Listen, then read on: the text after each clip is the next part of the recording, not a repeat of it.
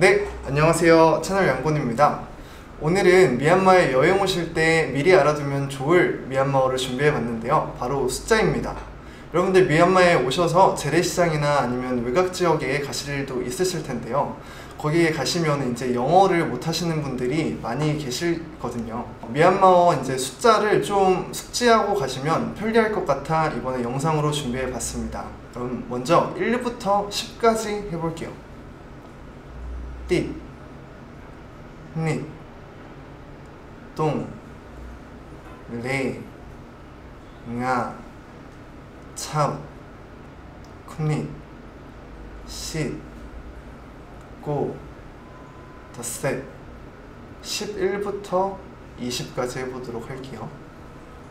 셋띠, 셋니, 셋똥, 셋레, 셋nga, 셋차우, 셋쿤니, 많이 놀랬죠?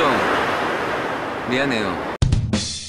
1 2 3 4 5 6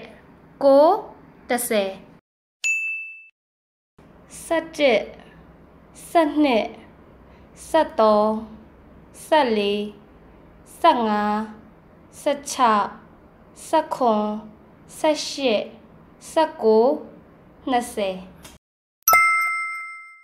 네, 10부터 100까지 10의 단위로 끊어서 해볼게요. 10 20 30 40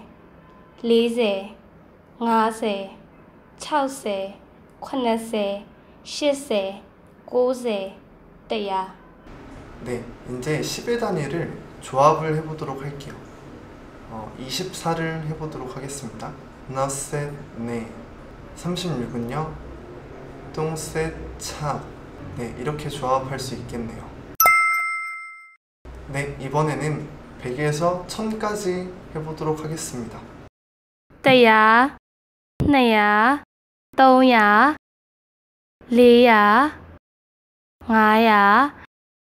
100 200 300 400 500 600 800 800 900 1000 이번에는 100의 단위를 조합해 보도록 하겠습니다. 우선 150은요. 떼야 nga세 350은요. 똥야 nga세 655는요. 차우야 nga세 nga 이렇게 조합할 수 있겠네요. 이번에는요. 1000부터 만까지 해보겠습니다.